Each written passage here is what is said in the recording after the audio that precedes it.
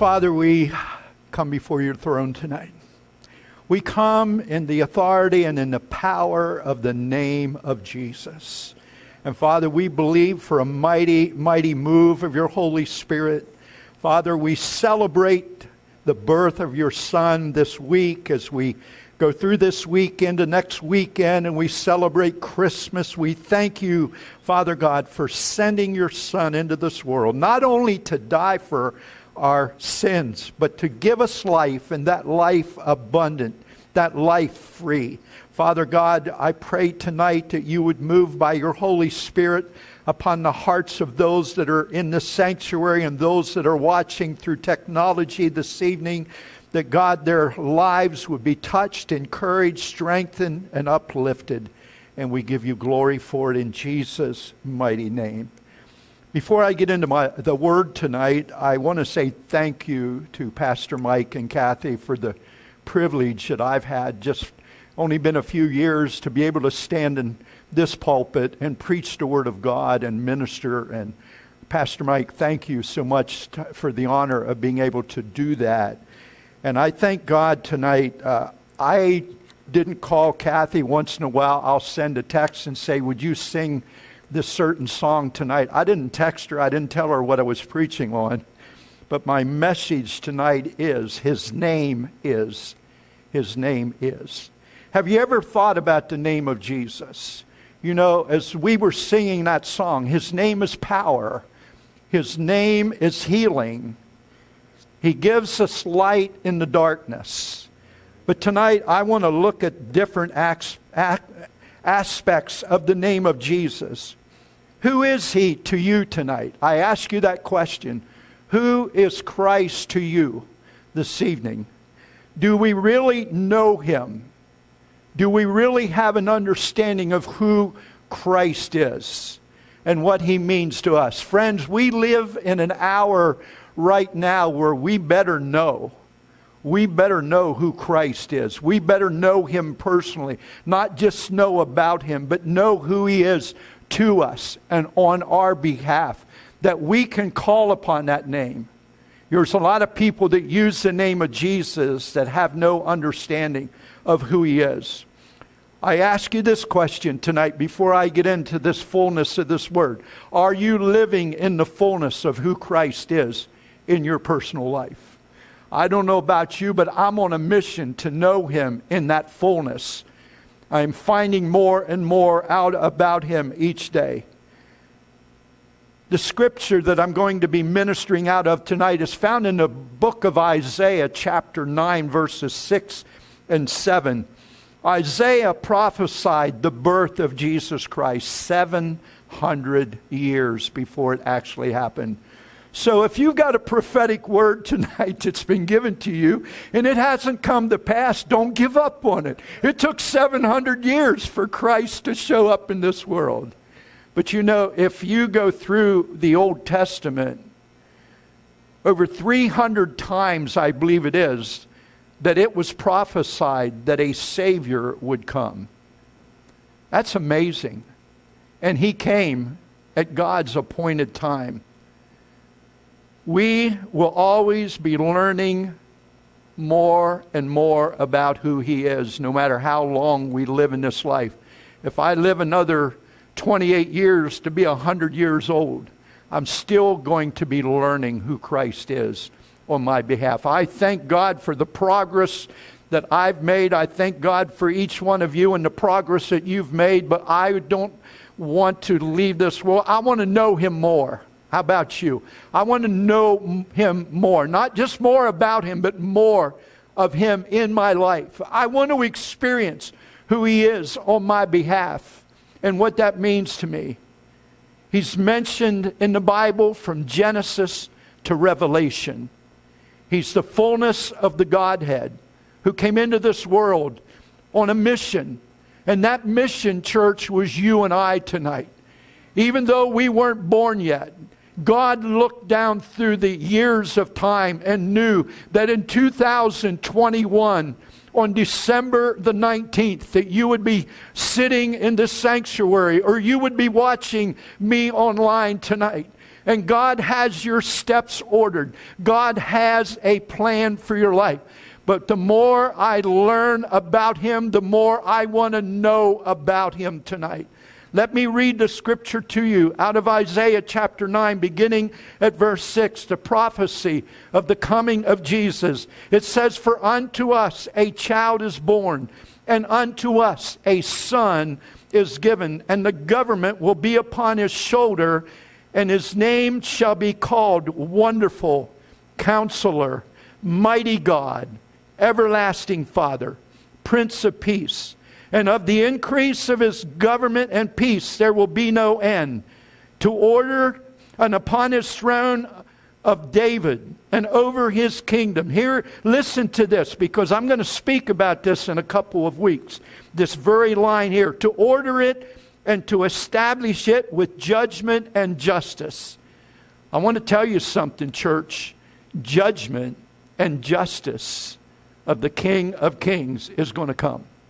And I'll share more about that another time. It's not the message for tonight. From that time forward, even forevermore, the zeal of the Lord of hosts will perform it.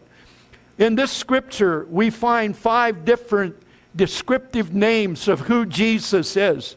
But I want to look at some others here real quick. He is the Alpha and the Omega.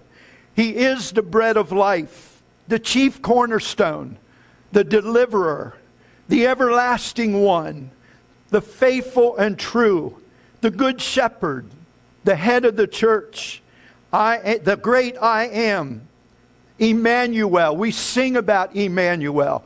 If you notice, I'm using the alphabet tonight. He's Jehovah. He's King of kings and Lord of lords. He's the Lamb of God and the Lion of Judah. He's Messiah and the miracle worker. He's the God of new birth, our hope and overcomer. He's a prophet and a priest. He's my redeemer tonight. He's my rewarder. He's the rock of all ages. He's the savior of the world. He is the way, the truth, and the life.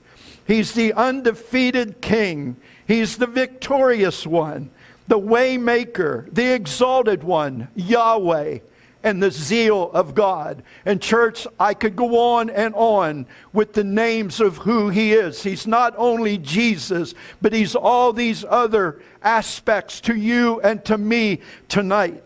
He's my all in all and my everything. He's more than enough for me. That's what I am finding in my life.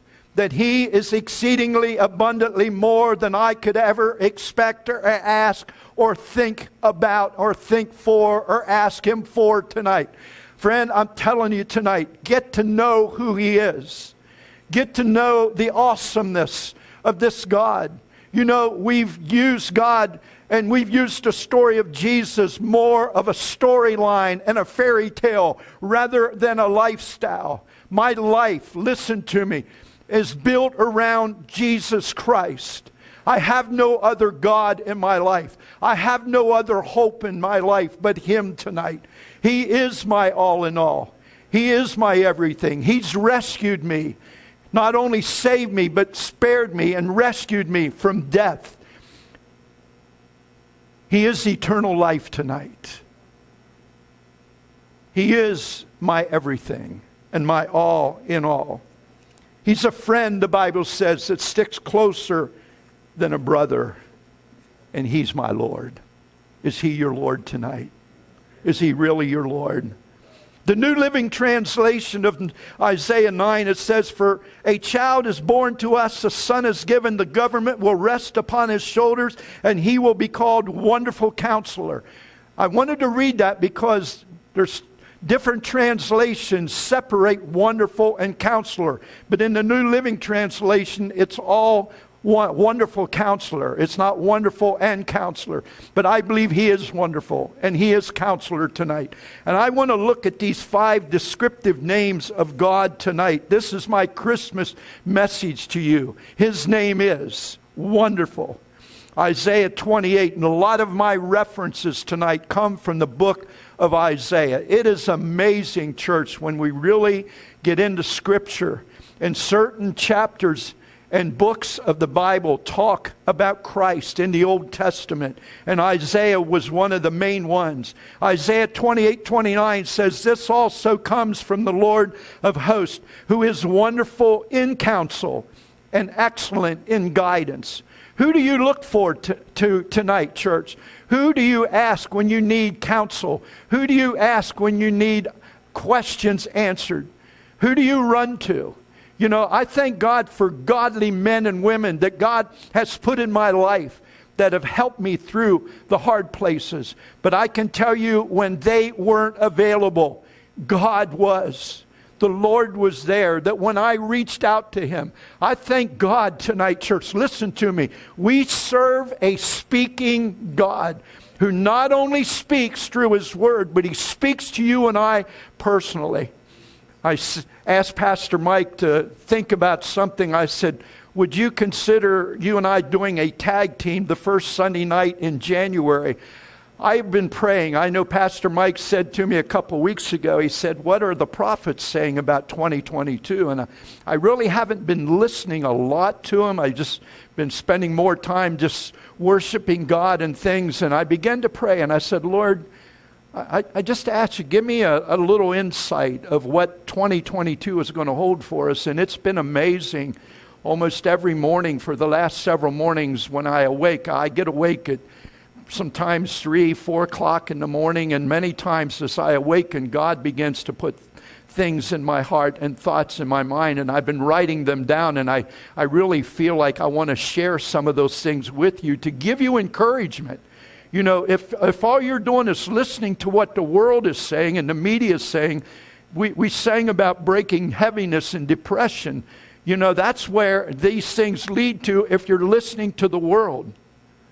And I don't want to get into that tonight. I could, I could, I could end up with a critical spirit tonight over some of the things that are going on that people are saying that's creating fear and doubt in the lives of people. But I thank God when I get a download from heaven, it's truth.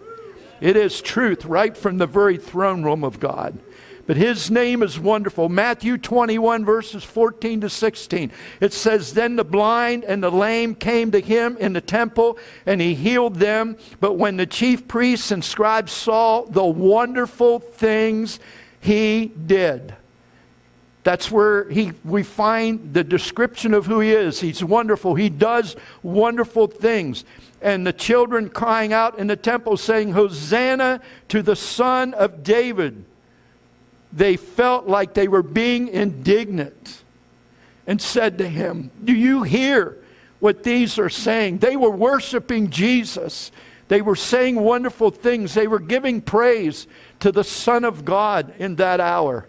He gained a name wonderful by the things that he did for the hurting and the lowly, but he was despised by the rich and the religious of his day. We used to sing a beautiful chorus in the church His name is wonderful. His name is wonderful, Jesus, my Lord. He is the mighty King, the master of everything. His name is wonderful, Jesus, my Lord. He's the great shepherd the rock of all ages. Almighty God is He. Bow down before Him, love and adore Him. His name is Wonderful Church, Jesus. There is no other tonight but Him. There will never be another Savior. We don't need another Savior. Our Savior has come, and our Savior lives tonight. He's not only wonderful, but number two, he's counselor. In some translations of the Bible, again, I remind you that wonderful and counselor are combined. He is a wonderful counselor. Isaiah chapter 2, verse 3, it says, Many people shall come and say, Come, let us go up to the mountain of the Lord. We sang about it again tonight. I tell you, I love it when God confirms the word that He puts in your heart. But let us go up to the mountain of the Lord, to the house of the God of Jacob. He will teach us his ways. How many of you can say tonight that God has been teaching you his ways?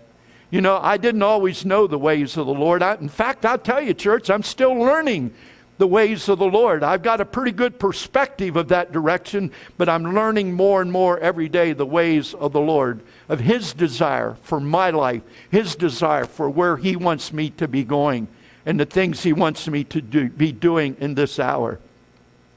And says, go on in that verse there, and it says, and he will teach us his ways, and we shall walk in his paths. For out of Zion shall go forth the law and a word of the Lord from Jerusalem. How many of you remember the story when I talk about counselor and counselor? How many of you remember the story in the Old Testament about Solomon when the two women there was they had babies on the same night and that, that very night one of the women's babies died and what that woman did was try to steal the other baby and he ended up before Solomon the king and the one lady says this woman tried to steal my baby and the king, through the wisdom and the counsel of God, he said, I will resolve this. I will take the baby, I will cut it in half, and give each one of you half of the baby. And the one mother spoke up. The true mother says, Please, please don't kill that baby. Give it to her. And the king says, Give that lady the baby because that's his true mother. That's counsel, church. We need the counsel of God in this hour. We need the counsel of God and the decisions that we need to make in this hour. We've got a lot of things that are being placed before us, a lot of decisions to make. And I'm not here to tell you either way what to do tonight. You know, uh, this thing with vaccines and all these other things, you better have the counsel and the wisdom of God to know what you should do. I'm not here to condemn anybody, pro or con. I'm just saying there's a lot of choices that's going to be thrown into your court in the weeks and the months ahead, and you're going to have to make a choice. Am I going to serve God or am I going to serve man? I'm just telling you what I'm believing the future holds in some ways, but I know who holds the future. I have an inkling, understanding of what God is about to do.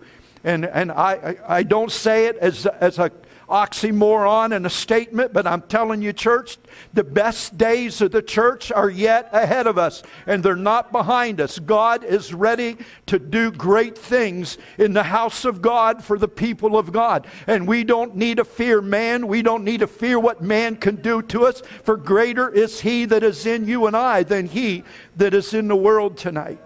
James 1 5 says, If any of you lack wisdom, let him ask of God, who gives to all liberally without reproach, and it will be given to him. I believe we're living in a day when God, we need God's counsel more than ever before, and not to be quick in making critical decisions for our life. Wonderful counselor. Number three, mighty God. How many of you know he's a mighty God tonight? I'm telling you, He is great in strength and His ability. He's a God that moves in supernatural strength. You know, uh, I could go to the gym and work out every day, I, I, but that's not me. I, I have problems enough just trying to do little exercises at home. But I've got a grandson. It's this I call him a kid. He's 32 years old. He's six foot three and weighs about 230 or 40 pounds. He goes to the gym every day. And when you get around him, he's a police officer. And I guarantee you one thing if he pulls you over and walks up to the car, you will say, Yes, sir. His arms fill out his shirt and stuff. He's a big, brawny dude. And I always told him, I said, Corey, you're my bodyguard. If I got a problem with somebody, let me introduce you to my bodyguard. But He's a mighty God. Our God is mighty tonight. He's strong. He wants to build you and I up in our faith in Him and in our strength and our ability that is in Him. How mighty is He? Isaiah 9 3 to 5. You have multiplied the nation and increased its joy. They rejoice before you according to the joy of harvest. As men rejoice, they divide the spoil. You have broken the yoke of his burden and the staff of his shoulder and the rod of his oppressor, as in the day of Midian. For every warrior's sandal from the noisy battle and the garments rolled in blood will be used for the burning of fuel of fire. He's the God of the battle ranks tonight. He's a mighty God. He will fight. Listen to me, church. It's not that you don't have to fight, but He will fight your battles for you. Israel, when He gave Israel the promised land, they had to go in and fight. There was battles that they had to do, but I guarantee you it was God that went before them. Even in times where they were totally outnumbered in the Bible. Look at Gideon with 300 men defeated uh, over 100,000 enemy troops because he listened to God. The mighty God was fighting on his behalf. It says in the Bible that the battle belongs to the Lord. I wonder how many of you tonight are fighting battles that you wouldn't have to fight if you gave them to God. There's battles that you're fighting tonight. Let me say this to you, and I feel this thing. If you're going to try and fight them in your own strength, you're going to weary yourself. And you're not going to win that battle. You may get a little bit of a victory, but you will never be an overcomer of those things that are working against you. We overcome, church, the Bible says, by the blood of the Lamb and by the word of our testimony. Give the battle to the Lord. He is a mighty God tonight. He's mighty on your behalf. You know, being a pastor, I've had to help people fight battles. And there's a lot of battles I didn't want to get involved in. But I can tell you tonight that we serve a God that wants to get involved in every battle of your life and every thing that is coming against you. He wants to give you victory over. He is a mighty God. I love what it says in Psalm 24 this is one of my another of my favorite psalms in verses 7 to 10.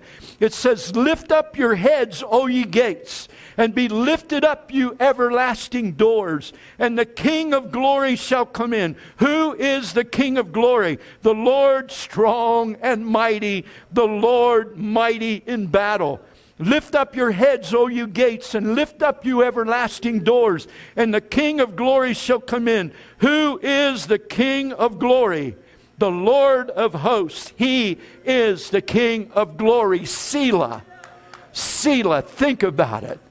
He is the king. He is the mighty king tonight. You know, sometimes we need to begin to tell our problems and our difficulties how big and how strong and how mighty our God is. Don't make your problems bigger than your God tonight. That's when we get in trouble. That's when we suffer defeat in our hearts and in our lives. Isaiah verses chapter 11 verses 1 to 5. Again, this is a prophecy, a prophetic word about the coming of Jesus. It says in verse 1 There shall come forth a rod from the stem of Jesse, a branch shall grow out of his roots the Spirit of the Lord will rest upon him. These first two verses here can be a message all of its own about the spirit, seven spirits of God.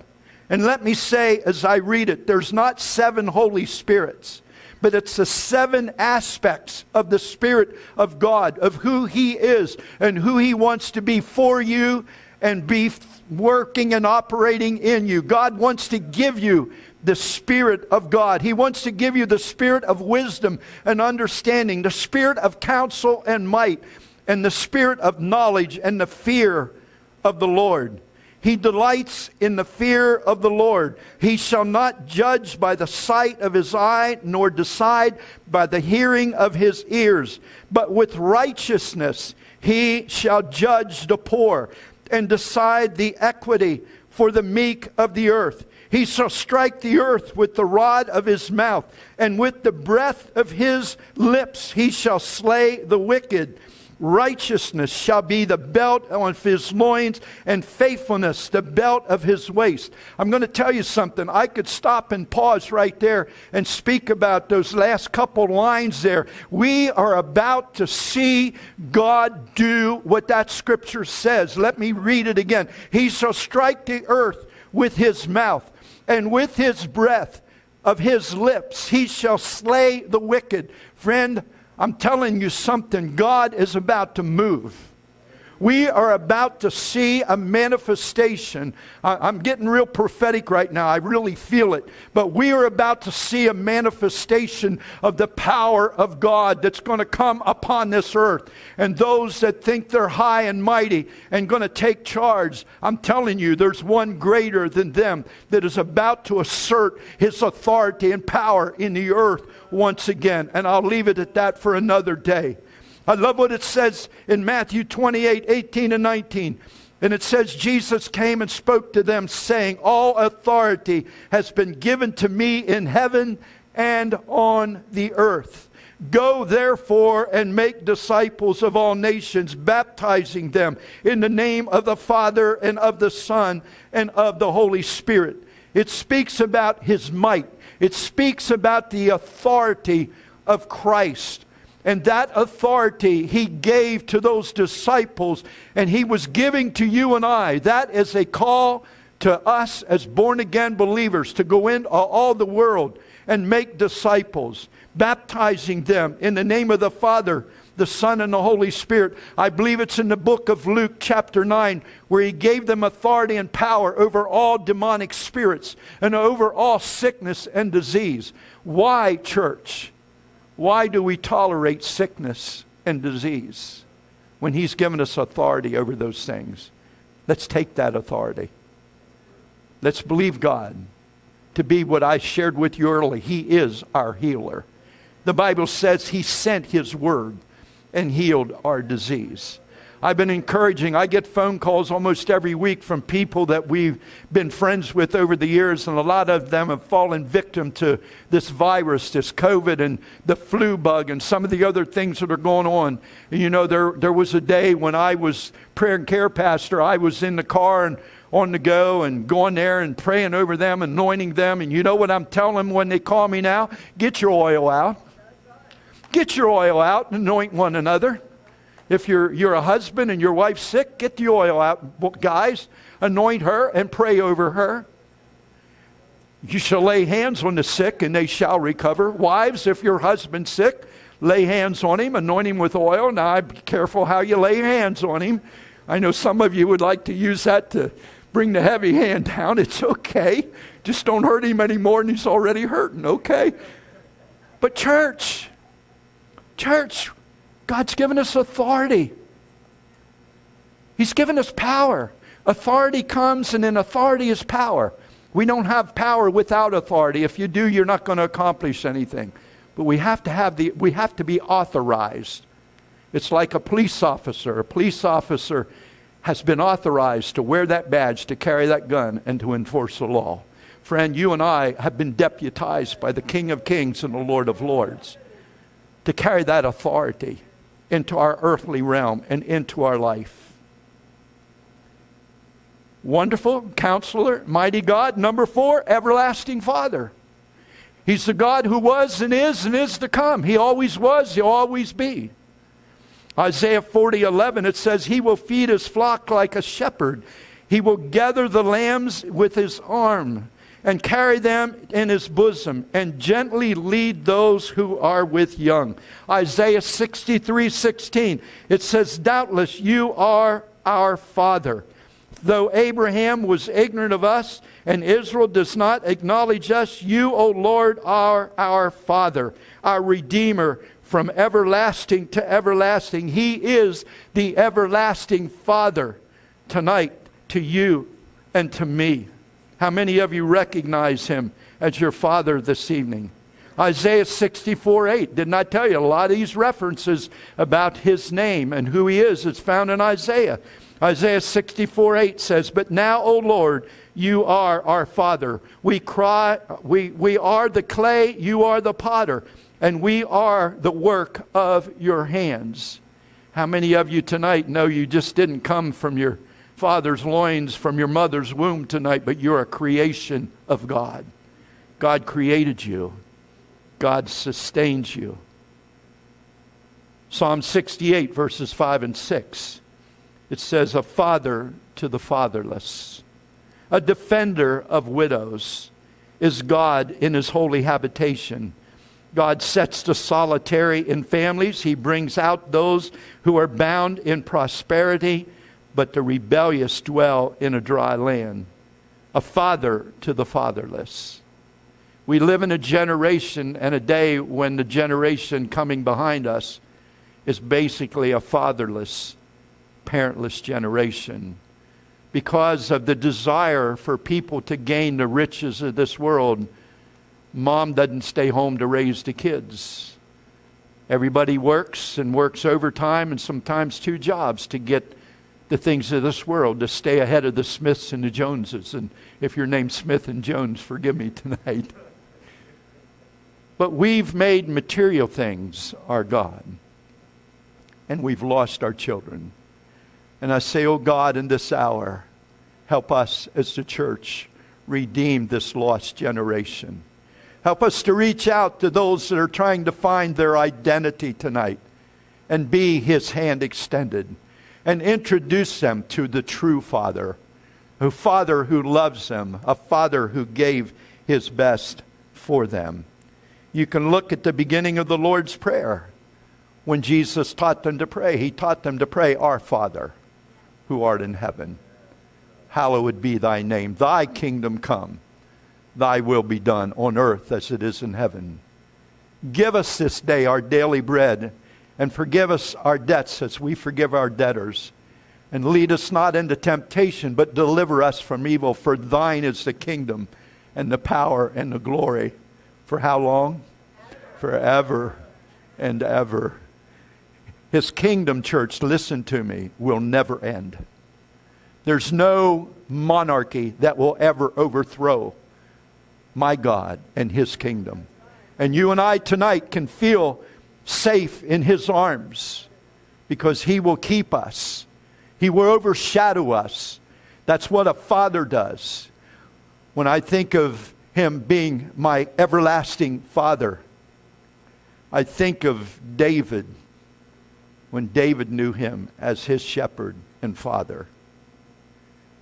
Wonderful counselor, mighty God, everlasting Father. And number five, he is the Prince of Peace.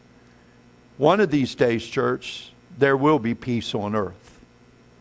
You know, when Jesus was born that night, as the angel of the Lord came over on that hillside to those shepherds, and he told them, Do not be afraid.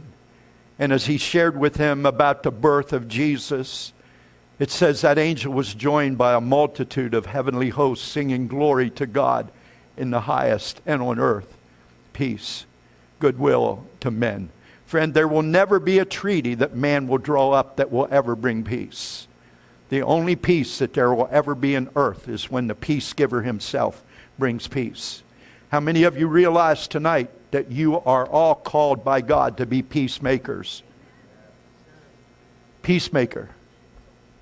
We did a, a course when I was still at Bethel, and it was a course about being a priest, peacemaker when there was turmoil, when there was strife between individuals of how to try and deal with those. And we had a lot of success. There's a few we didn't. You know, you can't go against a person's will, but what we tried to do to the best of our ability is bring the peace of God, the presence of God into the circumstances of those lives. But there's coming a day on this earth. I love what it says in Isaiah chapter 11. I'm going to read the, the verses 6 to 10. I've read, read verses 1 to 5, but verses 6 to 10 it says, The wolf also shall dwell with the lamb, and the leopard shall lay down with the young goat, the calf and the young lion and the fatling together. A little child shall lead them. The cow and the bear shall graze. Their young ones shall lie together. The lion shall eat straw like the ox. The nursing child shall play by, by the cobra's hole and the weaned child shall put his hand in the viper's den. They shall not hurt nor destroy in my holy mountain, for the earth shall be full of the knowledge of the Lord as the waters cover the sea. And in that day there shall be a root of Jesse who shall stand as a banner to his people, for the Gentiles shall seek him, and his resting place shall be glorious. What a day that's going to be. I believe it's going to go back to the way it was in the Garden of Eden before sin came into the earth. That God one day, one day, I believe after the millennial reign, when God sets up his reign on this earth, that we're going to see peace like we've never seen peace before. Luke 2.14, it's, uh, I, I shared it with you a while ago. Glory to God in the highest and peace on earth, goodwill to men. We used to sing that beautiful old hymn, Peace, Peace, Wonderful Peace coming down from the Father above. Sweep over my spirit forever, I pray, in fathomless billows of love. That would be my prayer for you in this Christmas season that the peace of God that passes all understanding would flood your hearts and lives, and you would get to know Him as who He is. As I get ready to conclude, and maybe Sister Kathy, we can sing Waymaker, Miracle Worker, Promise Keeper maybe as, as we, not right now, but when I conclude these final couple words here. But who is he to you tonight, church? Who do you want him to be in your life? I want you to seriously think about that. What areas of life are you having difficulty in tonight? Because if I would have went on and shared more and more of the names of Jesus, several years ago, I, I used to write the devotionals, daily devotionals for the church in Littlestown. And for 15 months, seven days a week, I had descriptive names that were found in the Word of God of who He is.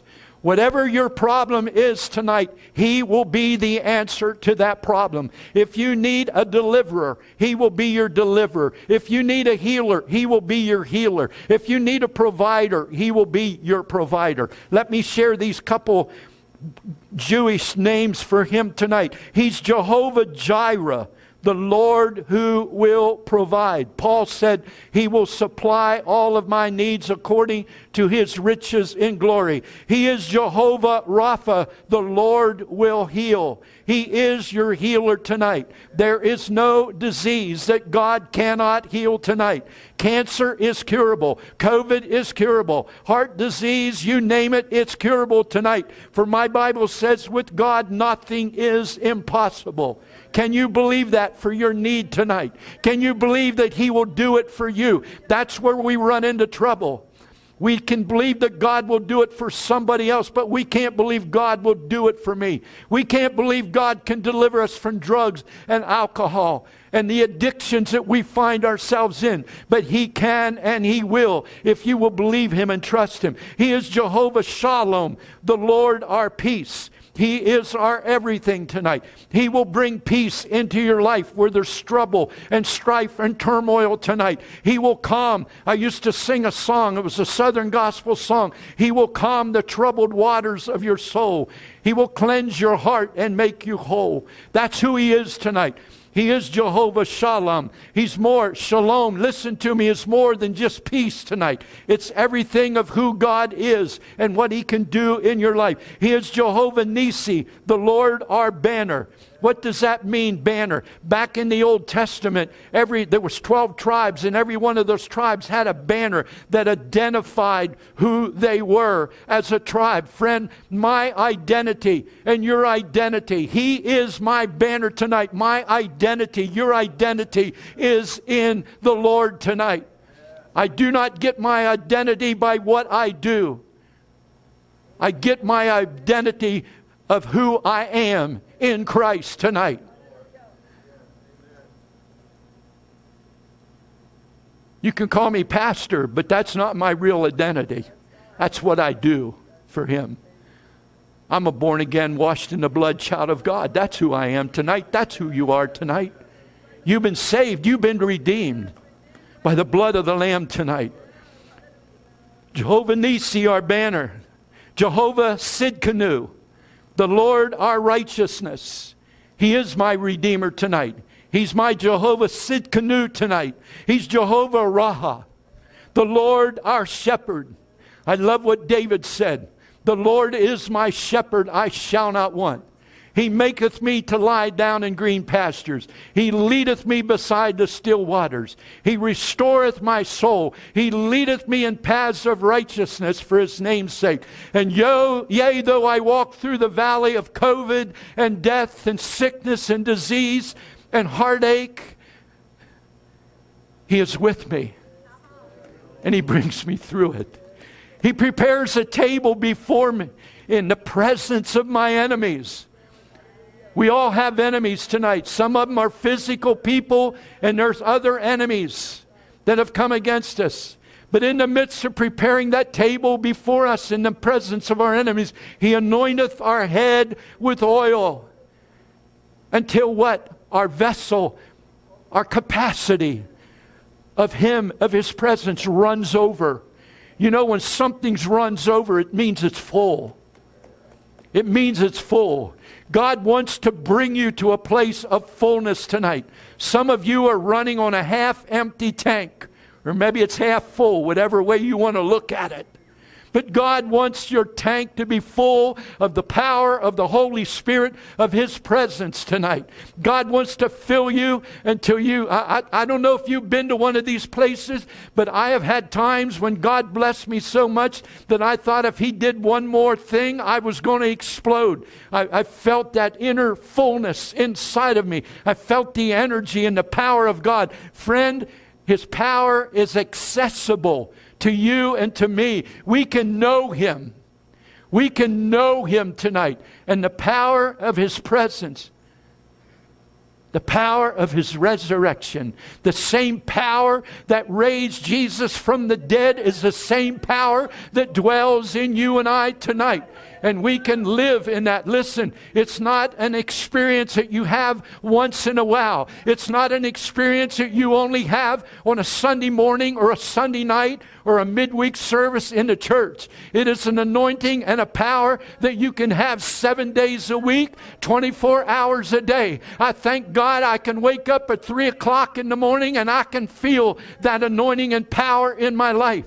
I can feel that power in the middle of the afternoon when it seems like everything around me is falling apart and nothing wants to go right. His power is available to you and to me tonight. He is Jehovah Raha, my shepherd. And finally, He's Jehovah Shammah. The Lord is always present. The Lord is always, say that with me, the Lord is always present regardless, church, of where you are, regardless of what you're going through. God did not abandon you. God did not forsake you. His word says, Lo, I am with you always, even unto the ends of the earth. Listen to me. There are some things, a lot of things that we have to learn to go through. And until you learn them, you're going to keep going through them. Life is a challenge. Life is a classroom. We're learning step by step, day by day, class by class, the ways of the Lord. And friend, I love it when I learn the ways of the Lord so I do not have to go back and relearn it again. I don't want to be like Israel and have to keep going around the same mountain for 40 years until we get it right. Let's get it right. Let's get it right. Come on. Let's get it right in our life. There's a lot more names I could share with you. But whatever you need in your life, He is for you and for me in this Christmas season, I would ask you tonight to make a fresh rededication of your life to the Lord. You that are watching online, I say it to you. Maybe you're going through the big, biggest struggle and the biggest battle of your life. You want to get victory over it, dedicate your life to the Lord afresh and anew. Maybe you're sitting here tonight and maybe one day you serve God faithfully. Maybe He was your everything and your all, but for some reason things begin to happen in your life and you took another pathway. But the problem of it is that pathway led you away from Him. You said, I'm going to do it my way. It's an old Frank Sinatra song, I think it is. I did it my way. But, friend, you know what I found was in my life when I tried to do it my way, it didn't work.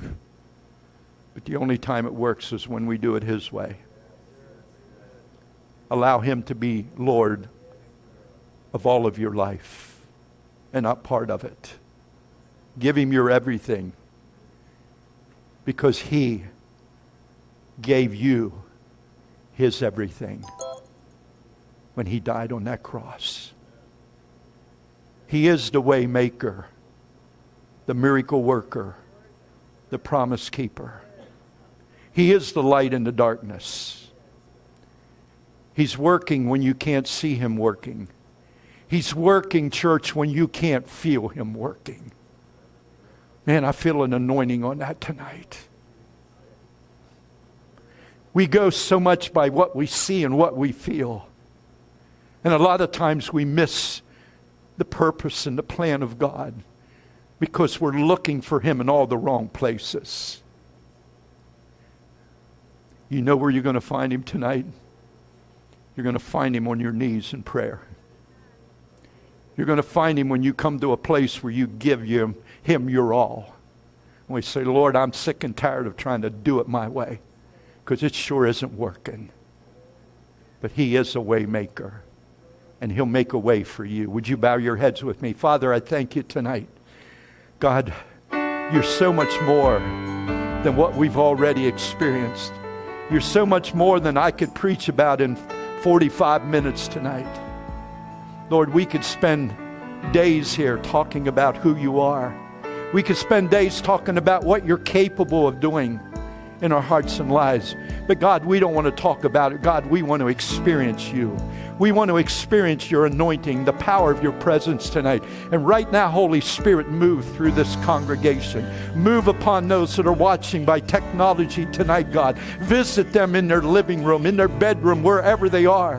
Wherever they're watching at tonight, Holy Spirit, apprehend them. Holy Spirit, arrest them and let them know that you're there for them. God, let them know the true love of a true Father, God, tonight. That God, you're the God that mends broken hearts. You're the God that raises up hope that was lost tonight. You're the God that redeems time in our life when we thought it was over and we would never get an opportunity again. You're the God of second chances tonight, Father God. Lord, touch tonight.